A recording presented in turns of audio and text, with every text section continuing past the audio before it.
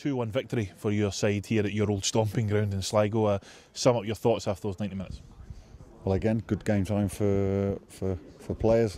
Um, it was a, a decent test, to be honest, because it was um, they tried to keep the ball all over, very similar to, to maybe how, how Inverness would go. So for me, it was relevant to, to what we were what we were trying to get at. Um, I think we should have scored more. Definitely, we uh, we had chances when we pressed, we pressed high, and we won it in good areas. So we were looking for the end product, final cross, final ball in the box, final uh, finish.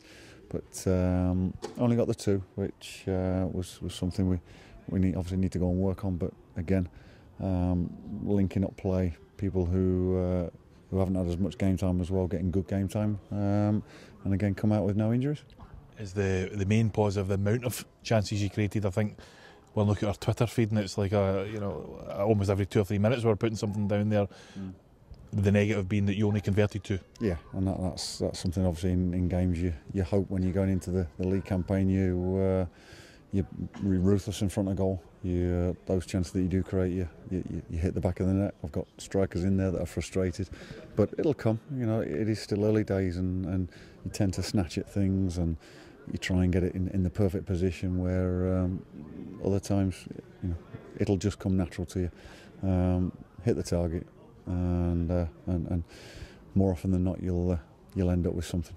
How tricky is it to come up against a side who are, you know, almost two thirds of the way through, not even a half, but two thirds of the way through their season? Yeah, you, you, forget that, that, that, you know, they are. They're, they're, they're, well into the season. They're, they're fit boys. They wanted to, to go and impress, I would think. So that's difficult to come up against that. And it was, um, but it was a, you know, great surface for us to go and play. Um, great setting, nice evening. um, and, and for me we got uh, a lot of good work out of it. Another big positive will be the, the, the, the lack of chances you restricted them to. Obviously, you know, with a, a trialist goalkeeper and who, who, who virtually was a spectator for most of the game, and a lot of that's down to the, the, the back four and the, the centre backs in particular.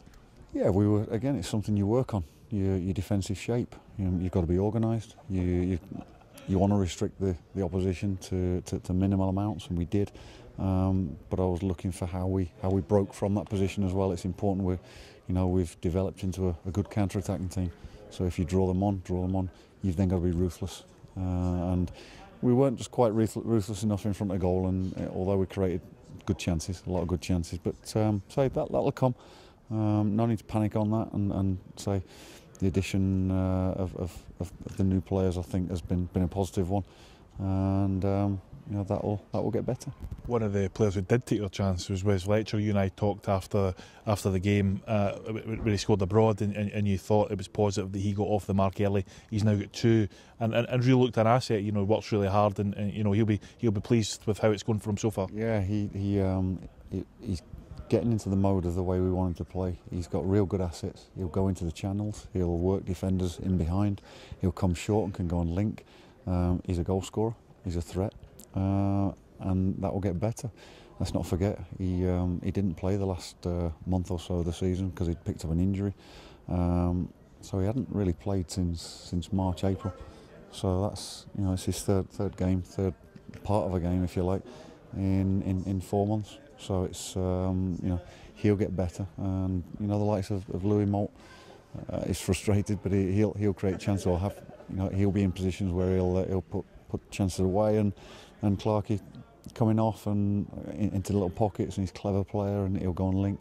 Um, he'll do well, and, and you know, add to that Scott McDonald that's come come in as well. Um, we know what he's he's going to bring to the party, and he just needs to, to get some good game time and good training uh, under his belt because he's uh, it's difficult because the last few weeks he's been he's been training on his own, and um, you know he, he needs to to to work hard with the uh, with the squad now penultimate game is now over. You've won it.